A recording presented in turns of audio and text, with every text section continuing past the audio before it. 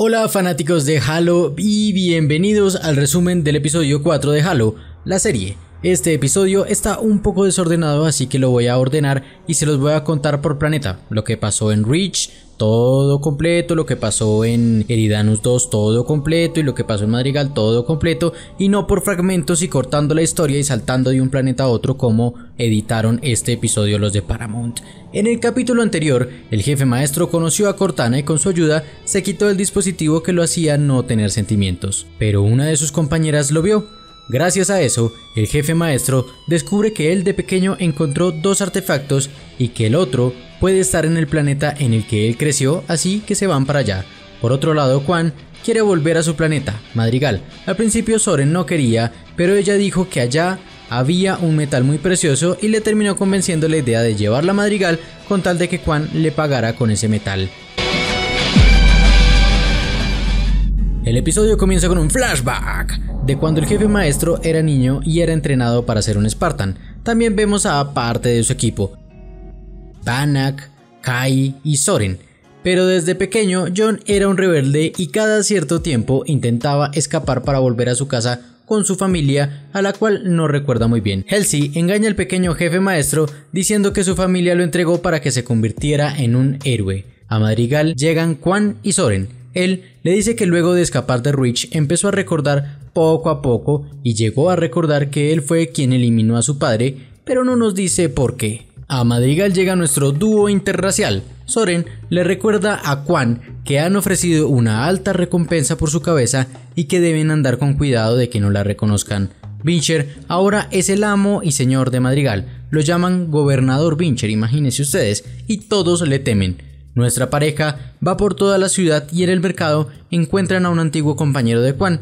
Él le dice que la están buscando por todos lados y que él no debería hablar con ella, pero le dice que se vean en la noche y se va todo asustado. Los anuncios de recompensa de Juan están por todos lados. Cuando ya es de noche en Madrigal, llegan a una reunión donde algunos rebeldes le rinden homenaje al padre de Juan. Ella saluda a una de las manos derechas de su padre, que le dijo que varios de los rebeldes fueron eliminados por Vincher y que ellos han decidido no pelear contra Vincher. La revolución se ha acabado. Pero no hay tiempo, porque llega la gente de Vincher a armar un desmadre del que nuestra pareja logra salir sana y salva. Nuestra pareja la ha estado pasando muy mal porque descubrieron su nave y la están vaciando. Ahora no tienen con qué salir de Madrigal y Soren quiere abandonar a Juan. Ella dice que vayan a visitar a su tía. El villano Vincher sabe que Quan está en la ciudad y que está acompañada por Soren, a quien Vincher ya conoce por nombre y todo. Le ordena a una de sus mejores soldadas, llamada Franco, que encuentre a los dos y los elimine. A Soren le dicen que de su nave ya no queda nada, que la saquearon completamente y la dividieron en partes y que la única manera de salir es en un barco que sale en la noche. Pero está a 200 millas. El tipo le dice que si le paga bien, él mismo lo va a llevar, pero Soren, muy a su estilo, le dice, mira, tengo un arma, no tengo que pagar de absolutamente nada, o me das la moto o te elimino. La tía de Juan le dice a la joven que ya no queda nada de dinero y que lo mejor es que se vaya de Madrigal. Además, le cuenta que el padre de ella empezó con la revolución porque unos brujos se lo dijeron, pero él nunca dijo cuál era el verdadero propósito de esa revolución. Pero esta conversación es interrumpida por Franco, ¿recuerdan la soldado de Vincher? La tía de Juan trata de detenerla, pero Franco la elimina frente a la joven. Soren le dispara a Franco quien escapa por la ventana, pero pronto llega el ejército de Vincher.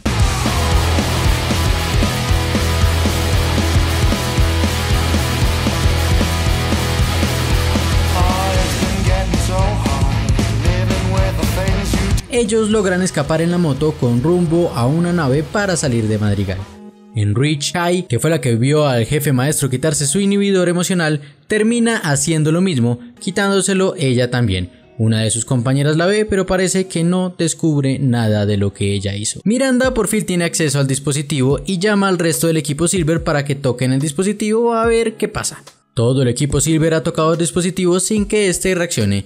Todos, excepto Kai, que ahora tienen cabello pintado, algo que Miranda nota raro pero le dice que se ve bien.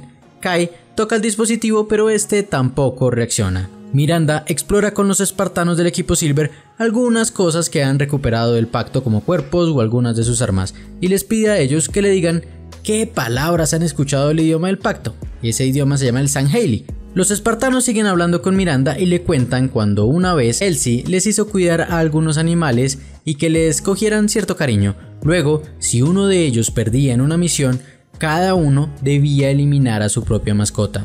Banach no perdió ninguna misión, sin embargo, Elsie eliminó a su mascota sin piedad, ya que Elsie quería que los espartanos no sintieran cariño por nada ni por nadie. Miranda, con las palabras que conoce y que le dijeron los Spartans, trata de traducir lo que dijo Maki al secuestrar la nave de la UNSC. Junto a Kai, descubren que ella habló de un anillo sagrado y que ese anillo es el que se revela cuando el jefe maestro toca el dispositivo. Ese anillo es el Halo, obviamente. Miranda descubre que el cabello pintado de Kai es un acto de rebelión. Le dice a la Spartan que tenga cuidado de que Helsi no note que ella se ha pintado el cabello ya que ella no tolera fallas y se le va a hacer un poco sospechoso ver a su Spartan con el cabello pintado en símbolo de rebelión. John, Halsey y su asistente volviendo a Eridanus 2, el planeta donde se crió John. Halsey le dice a su asistente que tiene mucha curiosidad de saber de qué se trata el dispositivo. Cortana le dice al jefe maestro que está notando que está ansioso y luego llegan del salto espacial a Eridanus 2, un planeta muy parecido a Saturno por aquello de los anillos. Al llegar a Eridanus, vemos que de planeta habitable más bien tiene poco. Aterrizan en un estadio, o más bien lo que fue un estadio, se suben a un vehículo con rumbo a la antigua casa de John. Él empieza a recordar más cosas de su infancia y su familia, pero sobre todo de esa tarde en que su padre le obligó a enterrar el dispositivo y reconoce exactamente dónde lo enterró. El jefe maestro empieza a cavar y encuentra algo. Al destapar la caja, ve que son todos los dibujos que él hizo de los dispositivos, pero ve un dibujo nuevo, uno de algo circular. El jefe maestro entra a su antigua casa. El jefe le pide a Cortana que a partir de sus recuerdos le muestre cómo era la casa antes. Así es como el jefe maestro tiene una visión de su casa. Recuerda dónde estaban los dibujos y recuerda que tenía un perro y que sus padres eran científicos que trabajaban en acelerar el crecimiento de las plantas y también recuerda que cuando pequeño dibujó algo circular con tentáculos. Hmm, ¿Eso parece un flute? No lo sabemos. También que explorando con el perro encontró una cueva muy parecida a la de Madrigal, en la que encontró algo que, al tocarlo, reaccionó haciendo que temblara la cueva y pues también se iluminó. También recuerda el día en que conoció a Helsi en su casa y no fue como ella dijo que había sido, que lo conoció después de que el país fue destruido por una peste y ella lo rescató. El jefe maestro está muy decepcionado de que Helsi le hubiese mentido. Helsi, quien me está empezando a caer muy mal, le dice a John que eso que vio no fue un recuerdo sino una visión, que es mentira y que está confundido porque que ella lo cuidó cuando era un niño, entonces por eso se confundió y le pareció haberla conocido antes. Mentira. El jefe maestro llega al auto y le dice a Halsey y su asistente que ya recuerda dónde está el dispositivo exactamente y se suben al auto para ir allá. El jefe maestro llega a la cueva a la que fue cuando era un niño y Halsey por supuesto lo sigue. John llega a una especie de tótem del que no alcanzamos a saber nada, puesto que él no lo toca en este episodio como para saber qué es lo que sucede y todo eso lo vamos a ver en el próximo episodio. No olviden suscribirse y ver el próximo episodio si ya está disponible y la lista de reproducción de esta serie. Mi nombre es Alejandro Solans y nos vemos en el próximo resumen.